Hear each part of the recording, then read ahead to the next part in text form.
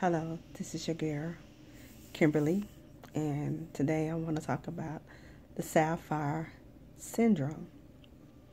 And I learned about this back in 2011 at a professional development workshop. And it was mind blowing what it was. Basically, sapphire syndrome is when a black woman is putting a black man down, especially if he doesn't have a job.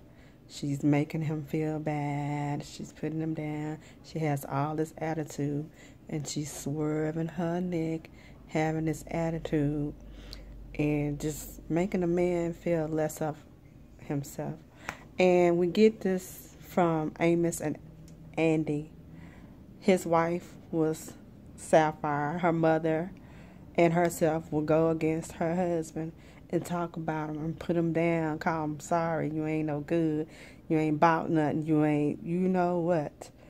So basically, it's just a black woman with a lot of attitude, putting a black man down, making him feel like a little boy, and swerving her neck with a lot of attitude. And it's just, it's not healthy. It's not a healthy way, you know. And sometimes this is instilled in our little boys too.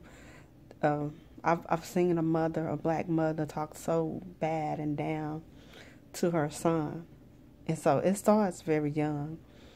And you know, we shouldn't put our men down just because they're on a bad luck, don't have a the good job right now.